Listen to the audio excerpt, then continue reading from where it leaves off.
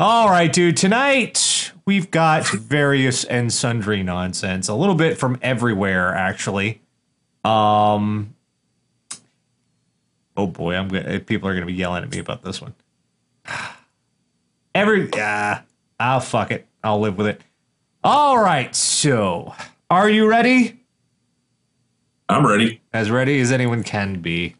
I, Oh. This is usually past my bedtime, so I appreciate. I do appreciate you I, I, in. I vaguely understand that I'm supposed to act shocked at everything I see. No, you just we comment on it because someone must.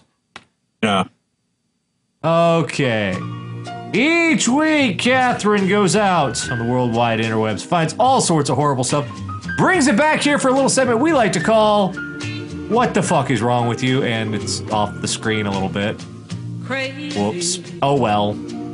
I'm crazy. Okay, where are we gonna start tonight? Oh fuck it! I'm I'm amazed that I'm actually getting anything working at this point. So, oh fuck it! All right, let's. Where are we gonna start tonight? Well,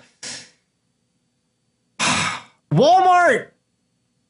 Don't really have to go much further than that. Walmart is kind of ubiquitous. enough. Yeah, it's ubiquitous. It's everywhere. It's it's it's in every possible segment of our society.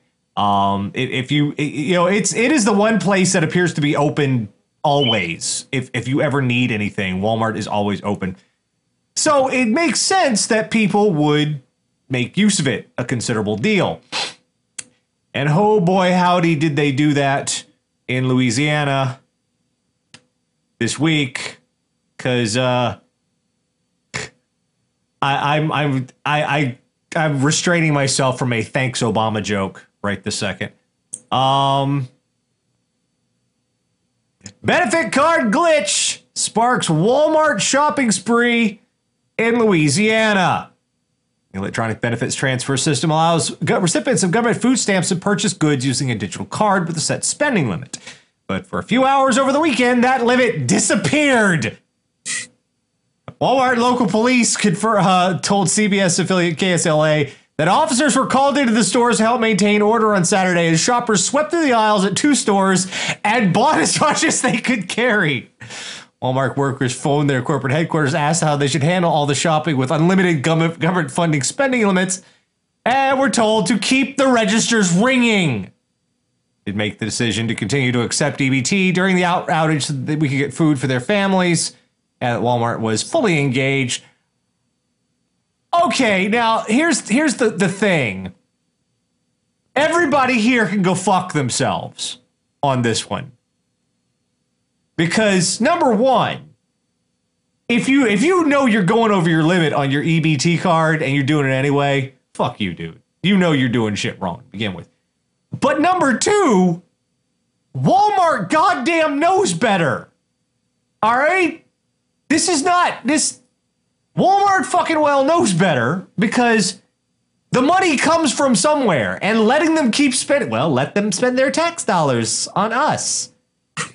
Fuck you, Walmart. I'll, think of all the terrible clothing and uh, boxes of uh, spaghettios they were able to walk out with, though. We have we have just subsidized an entirely new uh, pet industry of of moo-moos. That that that's we we've there's going to be a resurgence because of this. The American government has just you know how many I'm with stupid shirts are now our problem. But think of all the morbidly obese women who can now walk out with all the thongs they've never been able to afford. And Duck Duck Dynasty You ever see probably those? You ever see those pictures of this person shops at Walmart they put on Facebook all the time? yes yes people of The Walmart. fat nude woman there, you know, where, you know uh, it's like, uh, And Duck Dynasty, the guys over Duck Dynasty just opened their, you know, their royalty check this week and went, "Can we just buy the network now? We're, we're we we don't even, you know, we'll just own the network." yeah. Oh, how did? I you have to wonder what the hell happened. Who's getting fired and who's going to pay for this? I want them to to fucking. I want Walmart sued over this shit. I do because fuck them. They knew better. Everybody knew better. Fuck everybody. Fuck them. Okay, well, I have a bit of more of our regular fare tonight. And I say that. Have you ever been in a situation you know you're doing something you shouldn't, but you have to come up with an excuse really quickly on the fly? Uh, no, but the reason I've never been in those situations is I leave a very sheltered life.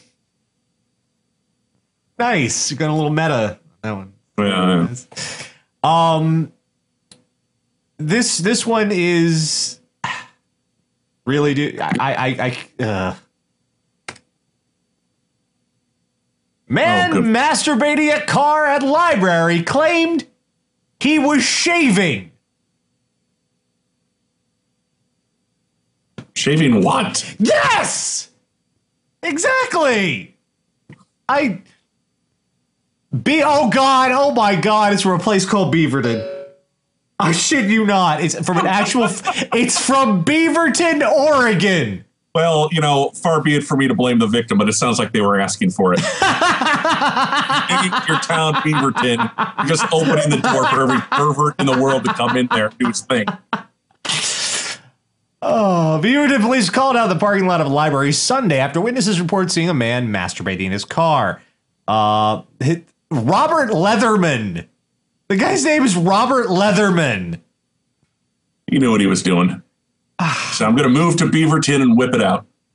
Police said Leatherman initially denied he'd masturbating. Police said he reclined his car sheet, his car seat to shave.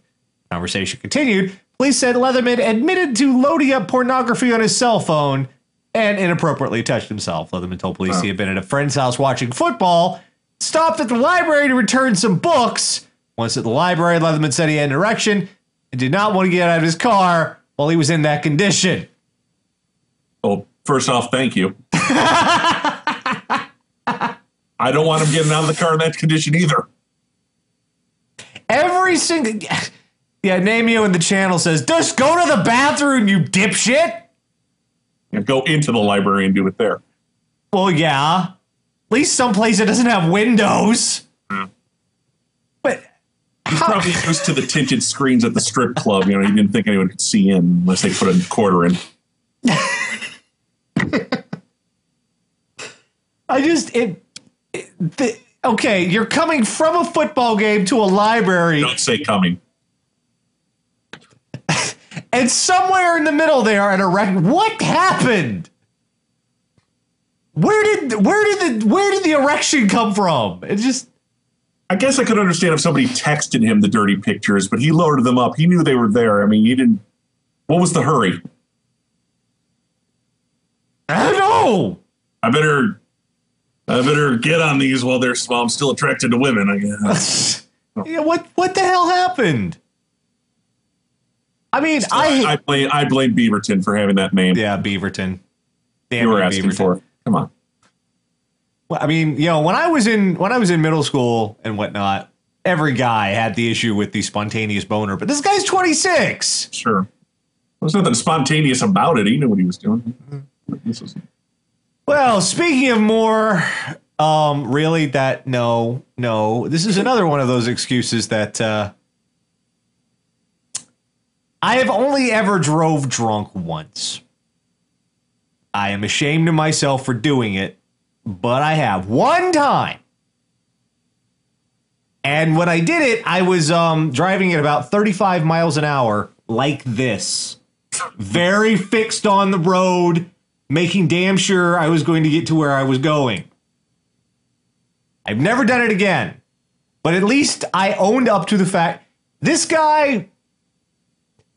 At least he's got a creative excuse about it. Um, drunk Ontario driver. Hold on, I'll get over to you. Uh, says he was just trying to prove Jesus right. what? I know. What's it? Uh, Serena, uh, Sarnia, Ontario. An Ontario man said he wasn't drunk behind the wheel. He just poured alcohol into his ears, testing his theory about how Jesus healed the deaf, and that must have set off the breathalyzer. Because science.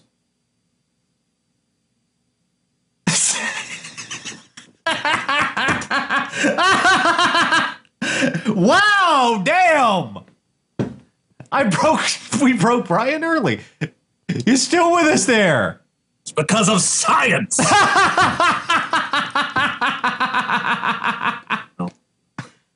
I just I there's there's stupid, and then there's you're just not trying. I know if you, uh, points for creativity. I'll give you that. But no, Jesus Christ. Court heard that last November, police stopped uh, Burke's vehicle because taillights were out. Breath test showed Blur- Burke's blood alcohol level was one and a quarter times the legal limit. Burke, who presented himself, testified the alco- alcohol he put in his ear increased the breath test results.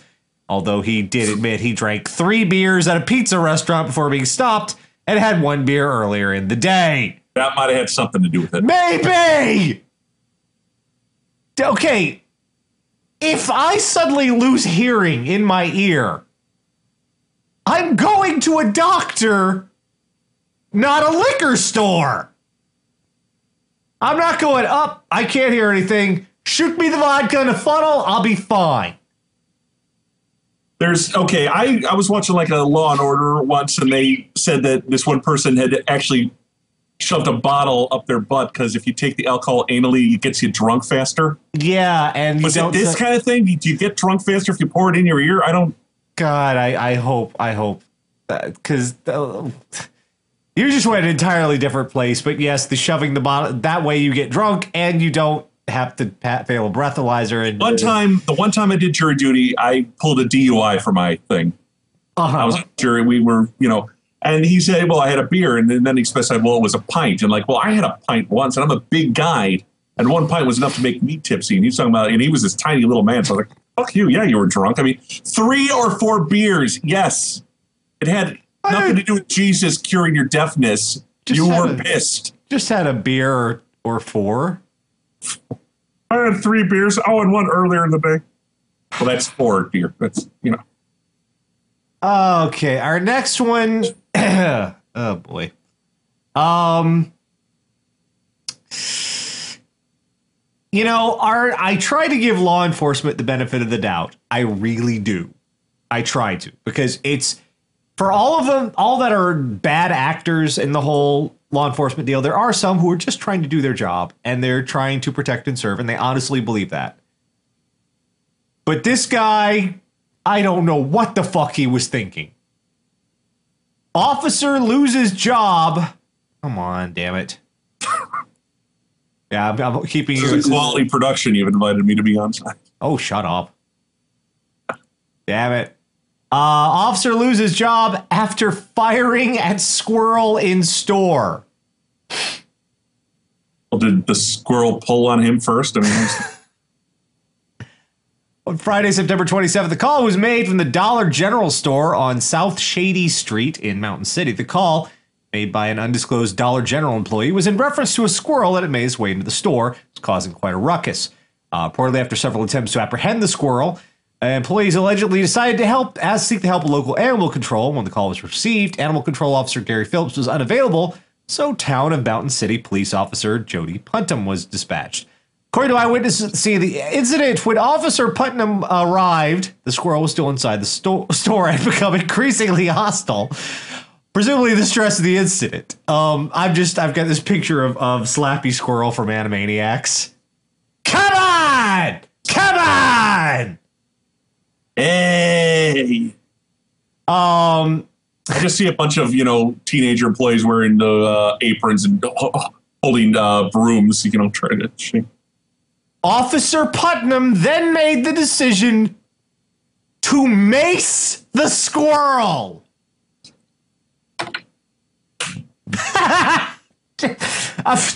oh my god. Um the time Officer Putnam deployed the mace, Dollar General customers were allegedly still in the store. Oh, But the smell and subsequent burn caused a mass evacuation. Fortunately for Officer Putnam and the squirrel, the mace was not enough to apprehend the squirrel, so Putnam reached for his next line of defense his service weapon, uh, weapon. At this time, it is unknown how many shots Officer Putnam fired at the squirrel. One eyewitness said they didn't hear a gunshot, at all, but rather the sudden quote scream of the squirrel. Oh, That sounds like like uh, like a, a heavy metal album for preschoolers. that's if your squirrel is screaming to death, that's that's got to be a sound that's going to haunt you till the day you die. When the bystander entered the dollar store, the dollar store, Officer Putnam had the squirrel pinned beneath his shoe. The animal was obviously dead. Another bystander said that Officer Putnam fired three shots. It is, and this is the best part. It is not clear at this time whether or not any charges will be filed against Putnam.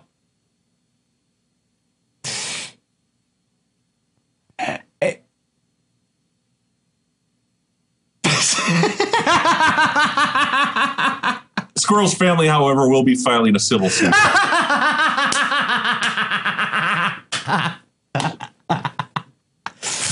that the non-lethal option wasn't enough to subdue the squirrel. This must have been one bad motherfucker of a squirrel. I mean, I'm thinking fangs, three feet tall, bat wings coming out the back, steam out the ears. You know, this must have been one nasty squirrel if he had to shoot it in the head three times. Video and video says this seems like a bad hee haw sketch. It does.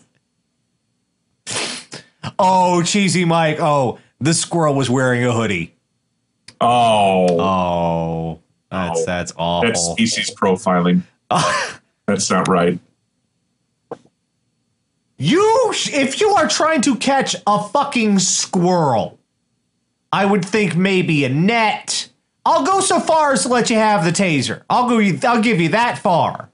That's as far, no further. When you mace an entire Dollar General to, you remember the groundskeeper from Caddyshack? Oh, yeah. What's saying this guy was like, if he hadn't shot the squirrel, we were like, two, Yeah, Carl there. You know, uh, I'm going to emaciate the screw there, don't you? I'm envisioning him going back to his car, coming back with every single goddamn grenade he had. that Dollar General will be gone. The squirrel will be like, I'm all right. Yeah, yeah, Nobody yeah. Think about the uh, establishment. I buy most of my explosive here. Christ. I won't subject you to any more of my bad, Bill Murray. Jesus Christ. That doesn't seem right. Cops have grenades now? Surprisingly, yes. Uh, there's another story uh, I'll have to get to at some point about how the military is donating its surplus to local police municipalities and they're not keeping track of what they're giving them. One guy at the police municipality, he was in charge of the police department. He was taking these machine guns that the fucking army was giving him and putting them on eBay. So yeah, they are getting hel- getting a hold of shit like grenades and yeah, this this is happening only in America. Hmm. Okay, I've I understand getting jealous in a relationship. I've had that happen, you know, everybody does. But there's also a tempered response. You have to keep in mind just, you know, rationality on this sort of thing. I think the guy on our next story went a little overboard. Either that or his manhood is really threatened. I don't know which. Um jealous Saudi husband divorces wife Okay, when you put Saudi before husband, we know it's going to end badly. after she kisses horse in photo. Look at that picture. That's uh, you know, that's a passionate kiss. Yeah, she's uh, yeah. uh, his- a Saudi man divorced his wife after discovering a picture of her kissing a horse on various social media networks. According to Front Page Mag, the unnamed woman said she had published the photo of her kissing the horse at a farm near uh, Riyadh. She added that her divorce has not made her regret kissing the horse. That's the best line. she doesn't regret it. I do it again. I kiss the fucking horse again. Yes, I kissed the horse, and I hope he burns in hell. Over that. Came from was a John Grisham adaptation. Yeah. Uh, it seems that this brave woman probably isn't the only Saudi lady who'd rather kiss a horse than her husband, as the divorce rate in Saudi Arabia has reportedly gone up 21%. Kuwait News reports her husband first saw the photo on Twitter, was infuriating to see his wife acting, quote, spontaneously. So he wouldn't have mind if she planned to kiss the horse. It's Yeah. just that did it on the spur of the moment. Well, you said you wanted me to be more, you know, in the moment. So I guess. And apparently, he responded by engaging in a Muslim practice known as the triple talaq, telling his wife, "I divorce you three times." She only had to kiss the horse once. Yeah. Good. Uh, And I feel That's still the best line. I do not regret kissing the horse. I'm, I'm just going to be saying that for weeks now. No one's going to know what the hell I'm talking about, but I'm just going to be going up people. I don't regret kissing the horse. Even though it cost me my marriage to a Saudi man. she was not upset by splitting from a man who could not di- distinguish between humans and animals. Yeah, if you are okay, obviously this relationship is not in a good place to begin with, but if you are this insecure, you don't need to be in the relationship, any kind of relationship. I don't know why he's so mad. She, she has the mask on. I mean, Yeah, the lips were actually touching the horse. her face is covered. Yes, it's. She, she observed protocol. Oh, now I've, I've got to go on a tangent because Tara's not here. A side tangent because she always goes on one of these. Okay. Um, I uh, I was at the airport this weekend and I saw a Jewish gentleman getting on the plane. He had you know the yarmulke, keeping his head covered before God. And because I am a stupid person, I thought they have to keep their heads covered as a sign of respect to God. Why don't they just put one great big yarmulke on top of the whole building? and then everybody's covered. See? But then they can never leave the building, or they would. they only put the yarmulke when they leave the building. I don't. See- But it. Sorry, I told you I'm an idiot. I I, I don't. I told you I'm an idiot. I did. I did. Did not. I did not. Anyway. Oh, I forgot. Happy birthday, by the way. Oh, thank you. At least you didn't die for another year. You're not that stupid. Uh. Get on the Darwin Awards. you know. All right, our last one tonight is I I don't know how. Not only is this I someone doesn't understand science. Not only is this just offensive on a human level, but it's it's there's money going into this, which is, so this is this has got a whole collection going on here. Um, obviously there are some places in the world that are not tolerant toward gay, lesbian, bisexual, transsexual, not tolerant and they don't like them coming to their country. Kuwait has um a solution. Um Kuwait developing gay detector to keep lesbian. Someone's actually developed gaydar. I I there it's Oh, oh horrible thing, but that is an amazing technological breakthrough. That's got to be like computers reading minds and shit, man.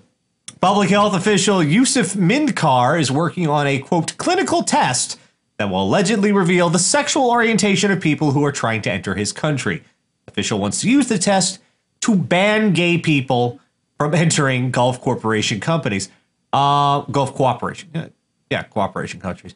Uh, senior Kuwaiti health official has plans to test out the country's quote gaydar. Okay, when a news site uses the word gaydar in a story about you, stop. Just it's stop.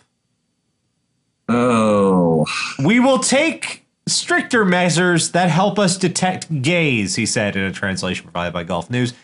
Visitors always have already have access to a health exam before gaining entry to the country. Mindkar wants to add the gay test to this routine medical screening, though it is unclear how exactly he means to measure homosexuality.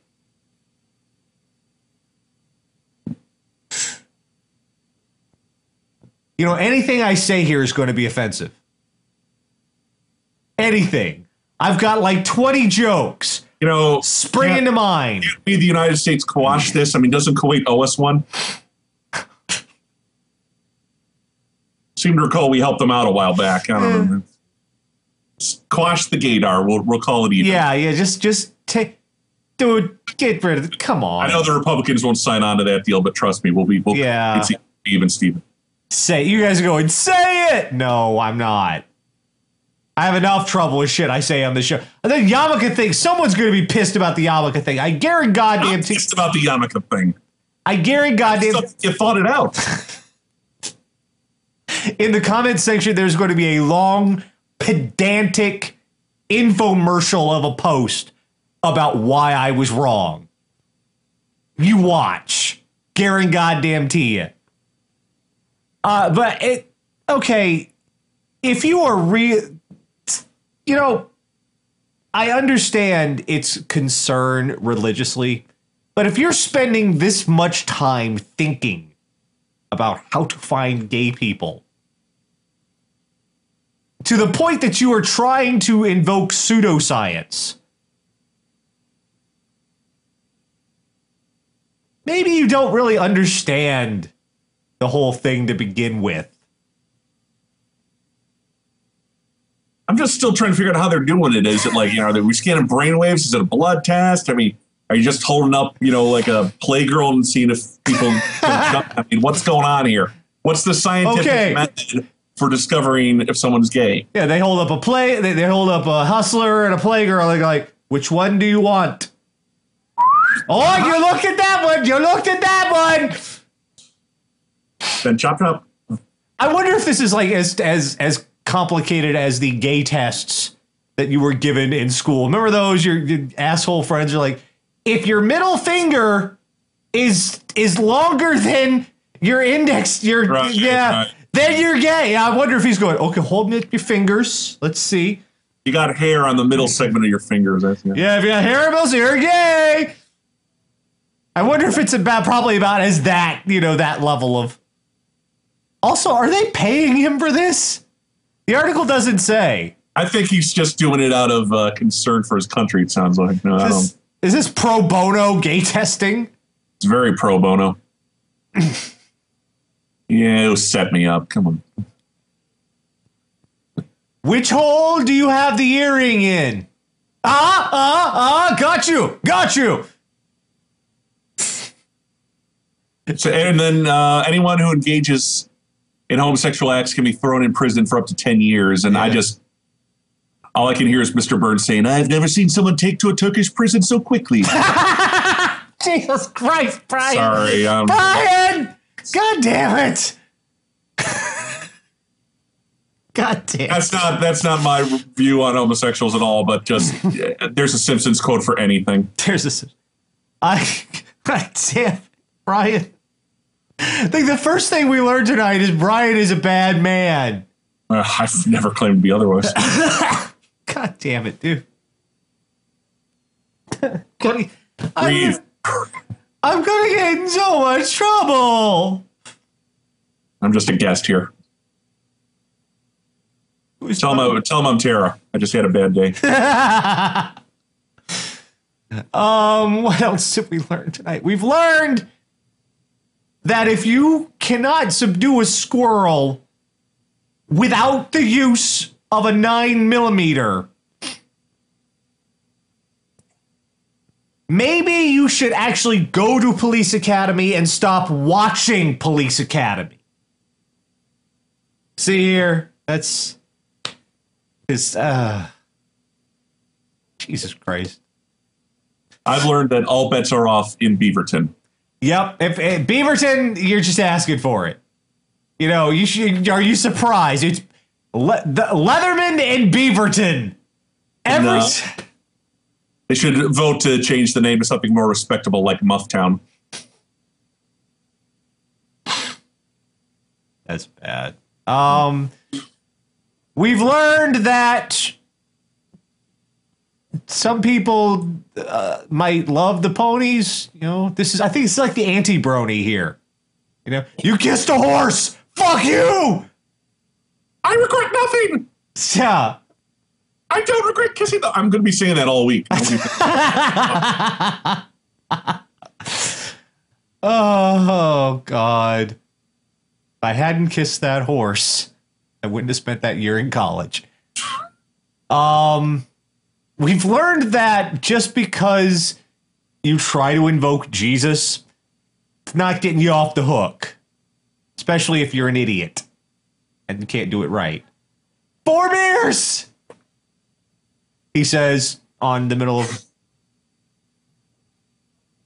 his own beer right now. Um, and finally, we learned tonight. Fuck you, Walmart. You, you no, you want to know why our tax dollar? Oh, your taxes are because you fucking assholes stealing the money. Don't talk to me about government. You knew better. Fuck you, Walmart. I think I'm sure I, I would love just that. That sounds like a, a good title for this week. Fuck you, Walmart. But then uh, it's a little, little too broad. There's so many reasons. That's a good title for a year, not a week. Yeah, I know. I've learned Nash doesn't really get the concept of yarmulkes. I know. Just it's just you have to. I think you're confusing them with uh, umbrellas.